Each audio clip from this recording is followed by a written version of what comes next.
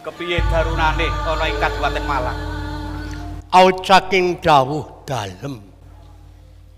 Saking retrado tadil wonten ing Kadipaten Madiun panjenengan kasunyatanipun kalis ing sambikala tansah tentrem ayem Kanjeng.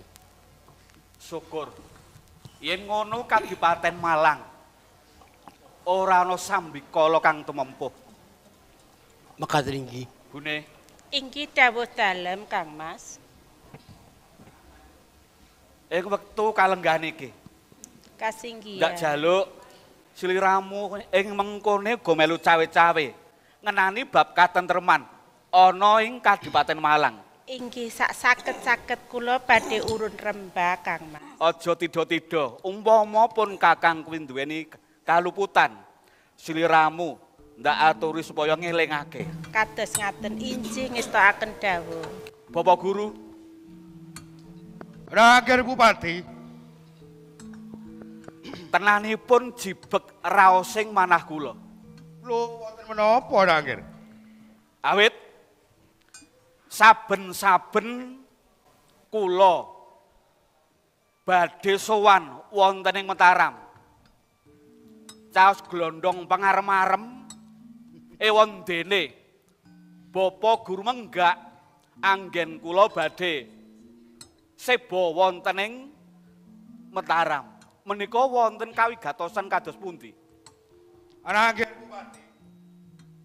Saderenge kula mlakake napa sing dadi kasunyatane.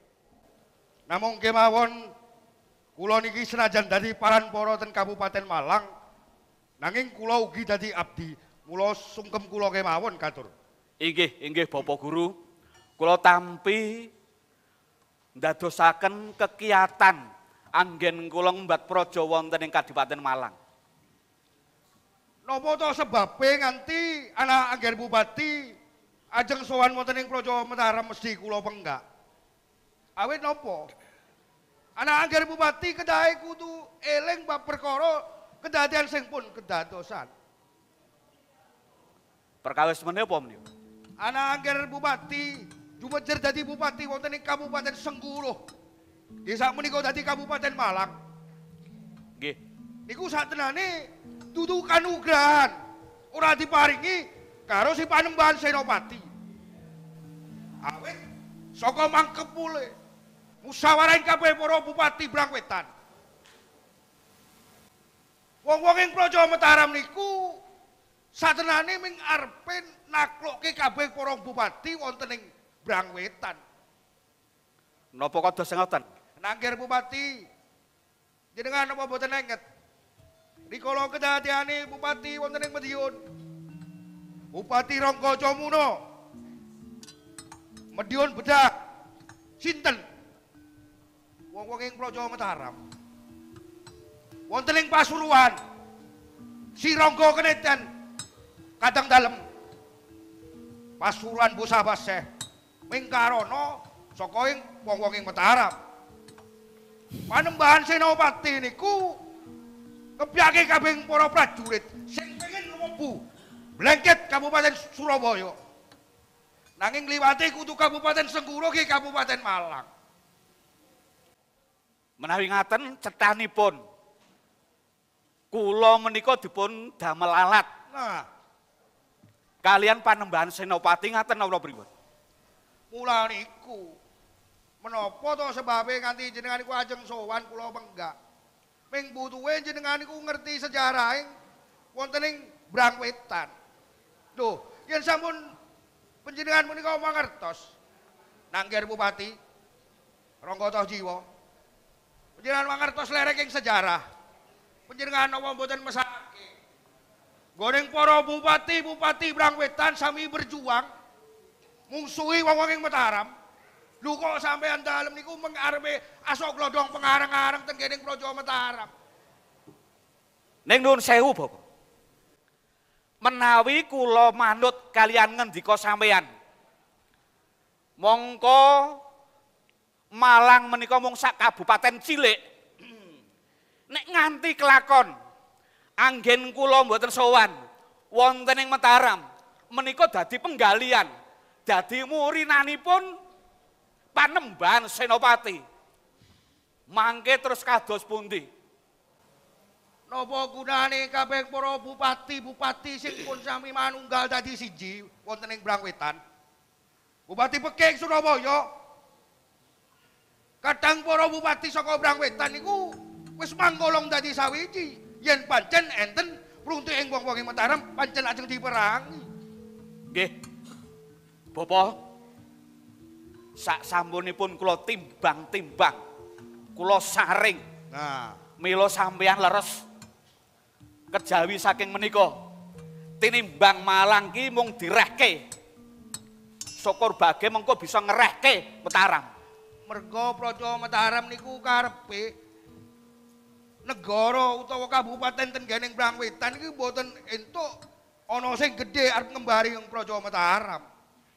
Mula kabeh kabupaten ana ing Brangwetan bakal ditaklukke, ditumpes kabeh. Mila sampeyan minangka paseksen teh Inggih. kowe uga dadi paseksen. Ngaten inggih. Ing dina iki Rangga Jiwa bakal mbalela ing Mataram. Kang Mas. Monggo katuran pinarak. Sampun bune? grusah-grusuh ngendikan panjenengan Kang Mas.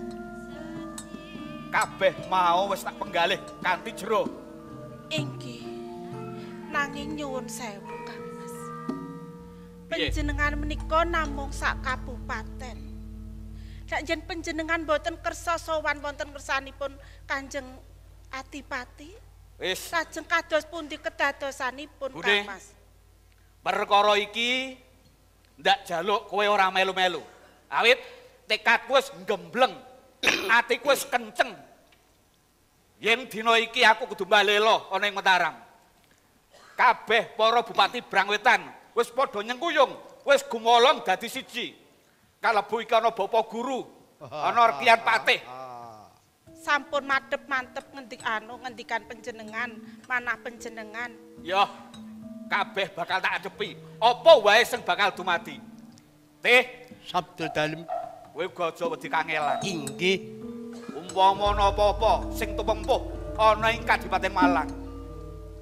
Aja mbalen jani. Badhe ngesi dawuh. Monggo monggo monggo. Monggo katuran monggo. pinarak.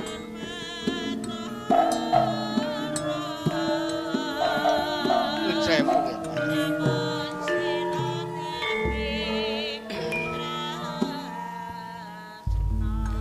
Sak rawuh panjenengan kula ngaturaken kasugengan. Yai Ronggo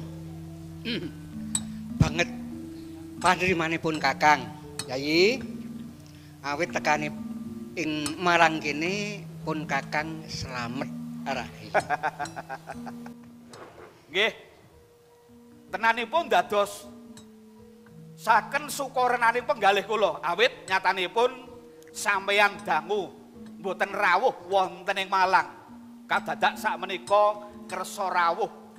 Wah. Raos mongkok wonten ing ati kula. Uga krenteking atiku kepengin banget sikilku ki ngidakake ing Kabupaten Malang Nggih, nggih, nggih, nggih. kulawarga ing Malang Pangestunipun sedaya sami wilujeng. hmm. Mboten wonten alar setunggal menapa kalis ing rubeda. matur nuwun Yai saya-saya aku gumun lho Yai Perkawis menapa?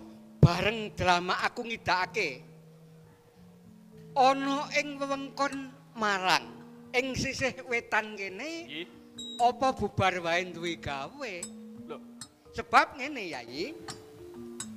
Janur kang rirengga isih genggeng tegese mentas wae lagi duwe gawe. Mboten. Mboten perkawis gadah damel menika mboten. Ning sedaya kala wau manamung pratandha.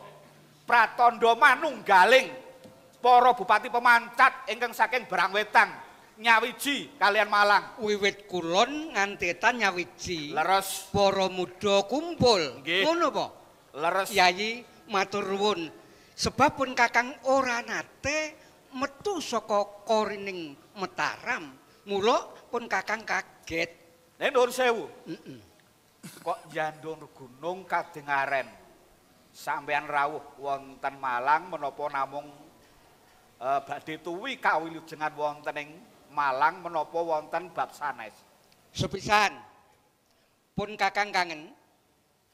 Kaping pindhone ya bobote pun Kakang kuwi mundi dawuh sanga ngersa dalem Kanjeng Panembahan Senopati. Oh, ngaten. Iya, Yayi. Lajeng menapa dawuhipun? Sebab ngene. Kabeh para bupati pemancat padha sowan lan sebo katon genggeng.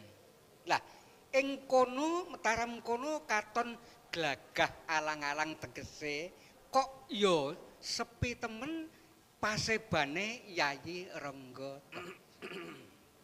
Nggih. Nyuwun pangapunten. Heeh. Menawi sampun sawentawis kula mboten sowan wonten ing Mataram. Gerah ngono apa? Mboten nyatanipun sampean pirsa piyambak nedeng-nedenge ing Malang menika memangun. Iya.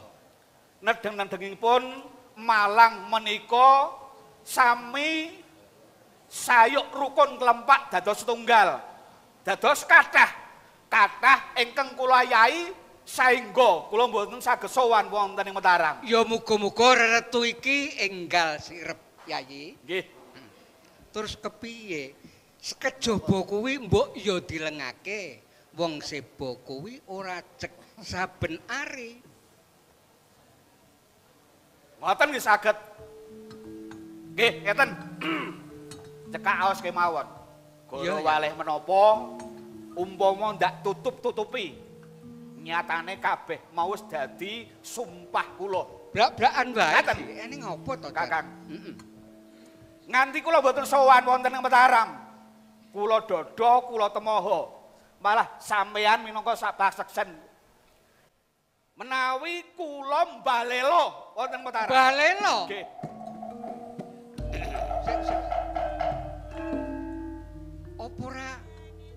Salah nggonku mirenake? Mboten.